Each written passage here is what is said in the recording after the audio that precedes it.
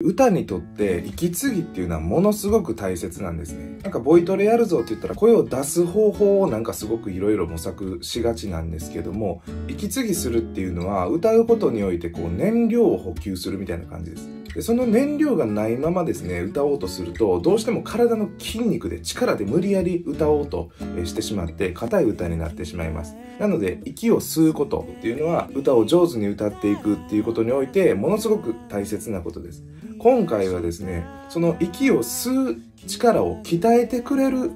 便利グッズがあるということで、え、試してみたいと思います。こちらですね、ブレッシングトレーナー。まあ何かっていうと、息が吸いづらい状態を作ってくれるっていうものです。その吸いにくくなった息を吸うことによって、息を吸うための筋肉を鍛えようという、まあ、グッズになってます。えー、ここにまあ数字が小さく書いてあって、まあ、説明書によるとですね、まず0、まあ、抵抗がほとんどない状態。この状態で30回呼吸をするっていうのを、まあ、1日2セット目安で継続的にトレーニングしましょうということが書いてあります。で、それがもう余裕になったらメモリをちょっとずつ上げていってですね、抵抗を増やしていきながら、そこでもまた30回できるようになったらもうちょっと増やしてっていう風にこう負荷をかけていくっていうような、道具になってます。まずその0の状態で30回やってみようと思います。はい。えー、まあ30回やったんですが、まあこれ、負荷ゼロでも十分意味あるなっていう感じですね。まあ自分の息が、え、どんな風に体にこう入ってきて、どんな風に測れていくのかっていうのが意識しやすくなると思います。何もないまま、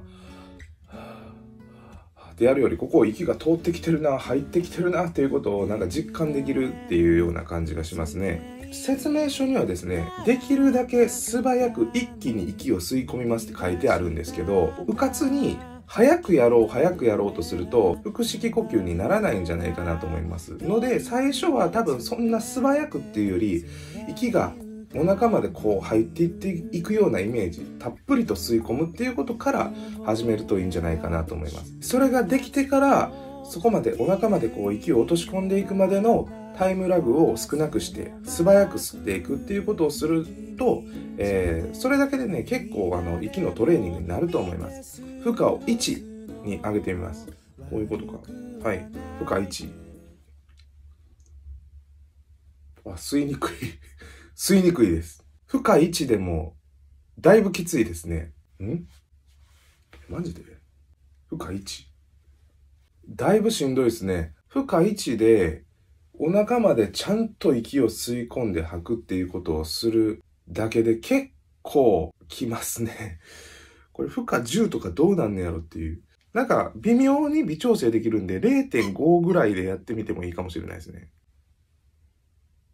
0.5ぐらいだと吸えんことないですけど、さっき言ってたお腹にたっぷり息が溜まるっていうところまで吸い込むっていうのにはかなり時間がかかりますね。まあ0.5でもちょっと吸いづらいです。試しにこれ10やってみましょうか。最大です。10にしました。ん？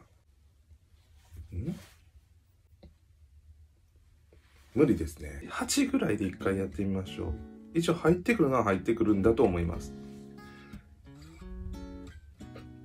まあこう、口の中にこう、冷たさ、空気の冷たさみたいなのをかろうじて感じることができるぐらいのレベルですね。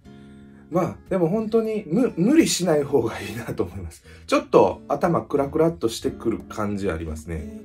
まあ本当に張り切りすぎずにゼロからしっかり試していってほしいです。で、ゼロの次はもう0.5にしてください。これでも本当に継続的にやっていくっていうことが大事かもしれないですね。まずこのゼロで、えー、30呼吸を、えー、1日2回やる。で、まあそれがもう完全に慣れて何の意味もないぞと思ってきたら0.5にしていくっていうような感じで徐々に徐々に上げていったらもしかしたら8ぐらいまでいく人が登場するかもしれません。息を吸いながらどこの筋肉がどこの部分が体で動いているだろう。例えばお腹が前に出るなとか背筋に力が入るなとか、まあ、そういうことを意識しながら呼吸するっていうことがそもそも大事ですね。でまあこれ本当1にするだけでなんか精神と時の部屋で修行したみたいな感じでまあその後息吸いやすくなりますね。ポイントは胸だけで呼吸しようと思えば別に早く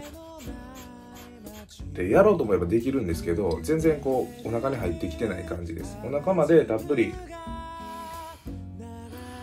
っていう風に意識して練習することをお勧めします、まあ、特にどういう人におすすめかっていうとちゃんとブレスができてたら歌と歌の合間に